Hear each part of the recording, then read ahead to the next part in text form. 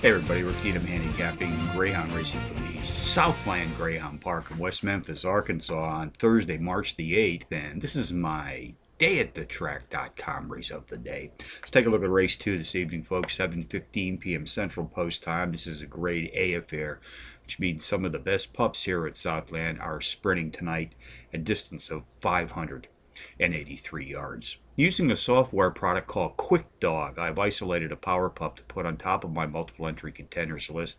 And on this entry tonight, number seven, Bella Hollister, I'll make a win place and show wager. Also like to play the boxed exotics here at Southland, so along with number seven, I'll be boxing number five, Bankruptcy Plan, number eight, Yahoo Zorro, and number three, WW's Wise Guy. That's seven five eight three in the second from Southland. QuickDog software has helped me isolate a pair of very playable Power Pup long shots. I'm going to suggest win, place, and show wagers on both of these entries. The first comes in the race one opener tonight. Win, place, and show at a 4 to 1 shot. Number 5, Oshkosh Ego. And in race 7, win, place, and show on another 4 to 1 shot. Number 5, Bella Infrared. So from Southland on a Thursday night, Rick Needham for day at the track.com, reminding you as always to please bet with your head not over.